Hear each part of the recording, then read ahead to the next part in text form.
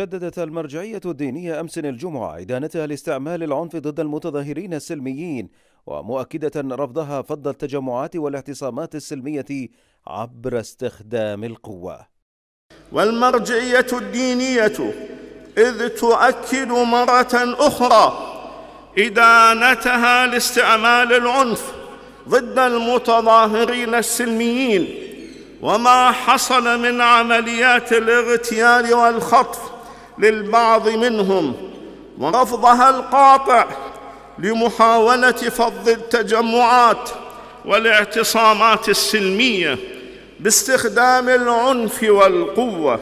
وكذلك أكدت المرجعية رفضها للاعتداء على القوات الأمنية والأجهزة الحكومية وما يمارس من أعمال تخريبية ضد بعض المؤسسات التعليمية والخدمية. المرجعية التي تبين غضبها من خلال خطيبها الشيخ عبد المهدي الكربلائي عندما أشار بإصبعه بضرورة إجراء انتخابات مبكرة.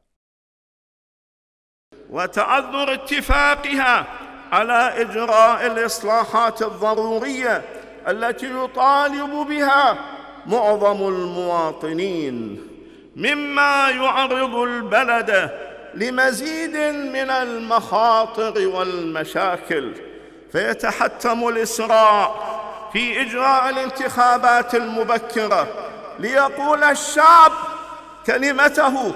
ففي الوقت الذي أشار إليه بالرجوع إلى صناديق الاقتراع أعطت البرلمان المقبل مسؤولية إجراء الإصلاحات واتخاذ القرارات الضرورية بشأن سيادة البلد واستقرار قراره.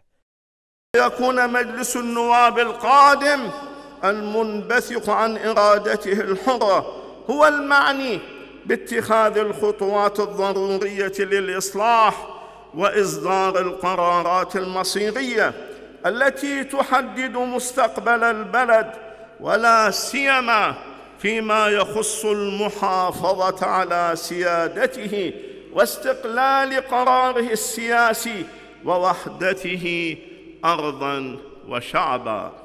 وهذا ما بات جليا بأن المرجعية الدينية أبدت حالة من عدم الرضا من طريقة تعامل الحكومة المستقيلة مع الأوضاع بضبط الأمن وحماية المتظاهرين وضعف مجلس النواب من القيام بدوره الدستوري في إنهاء حقبة الخلافات واختيار رئيس للحكومة بشكل عاجل.